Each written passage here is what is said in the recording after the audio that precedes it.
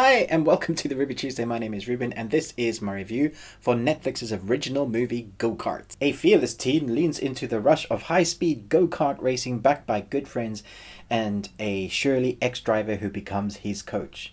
He must overcome tremendous odds and his own recklessness to achieve his dream of winning the National Go Kart Championship. There are a lot of films about racing in its various forms or films that follow this format. This film follows the entire list of tropes you need to have.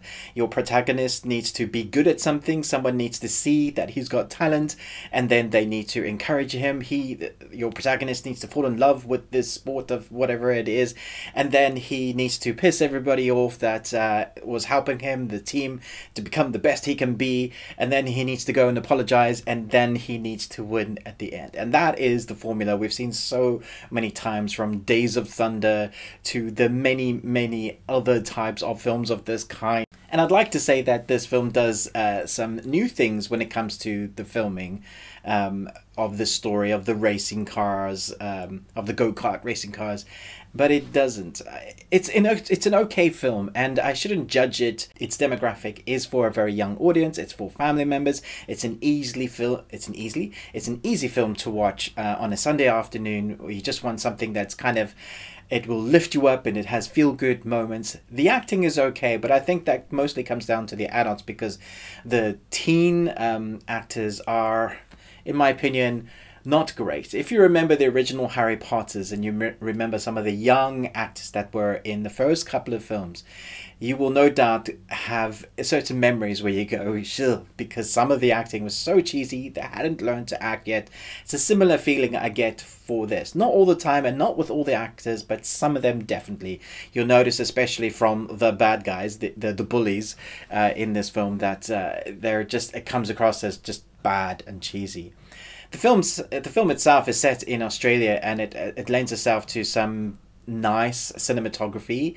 Uh, not great just it, it's standard. There are some sequences that i thought was very good with the go-kart racing. Um, you might think to yourself well how dangerous can it be? Well these are motorized go-kart uh, little machines and it feels like it's more dangerous. So there is a bit of tension there than normal racing cars because there is no shell to protect you at all from. It's your you've got your helmet on you're in this little machine that's got like you know you're strapped to a rocket basically and you're traveling around. And so if you come off you can quite easily hurt yourself or die as they show in this film.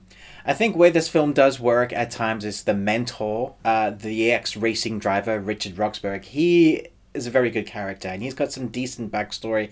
They spend a little a little bit of time with his backstory, and then when the the the race driver, the teen race driver, is with him and they're bashing heads. That is where it's most fun. The kind of the montages where you get the you know no, I want to do it that's my, my way. There's literally a Daniel-san wax on, wax off moment where he has to uh, clean the go karts with his feet with uh, rags, and you know he's teaching him how you can you know become stronger and the best driver you can be. Um, and so those moments I thought were quite good and quite fun to watch. It's not the best racing car film you're likely to see, but it doesn't need to be. It's not rewriting the book. It's just a standard Netflix film. It's not going to win any Oscars, it's not going to win any awards, but it might make your heart grow one size bigger. Um, and mine, I think, does need to grow one size bigger.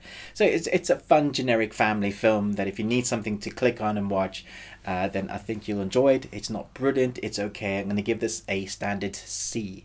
Let me know in the comments below what you thought about this film. Are you excited to see it? Have you been waiting to see it? I like the setting. I like some of the actors and I like the premise. It doesn't do anything new. It kind of does what it says on the tin. You know what you're in for when you're going to watch this, uh, and that's okay. Not every film needs to be Oscar worthy or amazing. Maybe you're just going in to kind of sit back and relax and watch this. You know what you get. It's full of tropes. It's okay. It's a kind of good film. Thanks for watching this review. Let me know in the comments below what you thought about this. And until next time, remember, live long and Tuesday.